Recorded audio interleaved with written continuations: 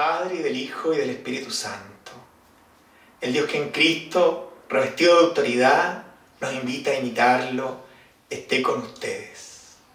Del Evangelio según San Marcos. Después de haber expulsado a los vendedores del templo, Jesús volvió otra vez a Jerusalén. Mientras caminaba por el templo, los sumos sacerdotes y los escribas, junto con los ancianos, se acercaron a él y le dijeron, ¿con qué autoridad haces estas cosas? ¿O quién te dio autoridad para hacerlo? Jesús les respondió, yo también quiero hacerles una pregunta. Si me responden, les diré con qué autoridad hago estas cosas. Díganme, ¿el bautismo de Juan el Bautista venía del cielo de los hombres? Ellos se hacían este razonamiento.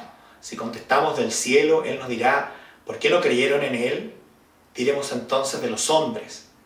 Pero como temían al pueblo, porque todos consideraban que Juan había sido realmente un profeta, respondieron a Jesús, no sabemos. Y él les respondió, yo tampoco les diré con qué autoridad hago estas cosas. Una y otra vez, en diversos relatos evangélicos, aparece el tema de la autoridad que ostenta Cristo y que es tan distinta de los poderes del mundo. Por lo mismo resulta desconcertante que el hijo de un carpintero, un hombre sencillo, pueda tener tal, tan hondas convicciones, tal efecto sobre las masas. No es un tema de retórica, no es solo rasgos de un buen líder, va mucho más allá. La autoridad que recibe Jesús le viene de lo alto, de una convicción muy honda, de saberse el Hijo muy amado del Padre, aquel que vino a anunciar la buena nueva del reino y ante todo una invitación a la conversión.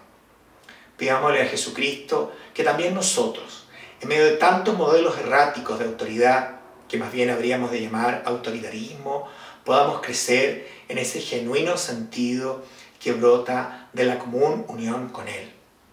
Por intercesión hoy de los santos mártires, Carlos Luang y compañeros, pidamos en este día sábado que nuestra autoridad se asemeje más y más a la de Jesús el Señor.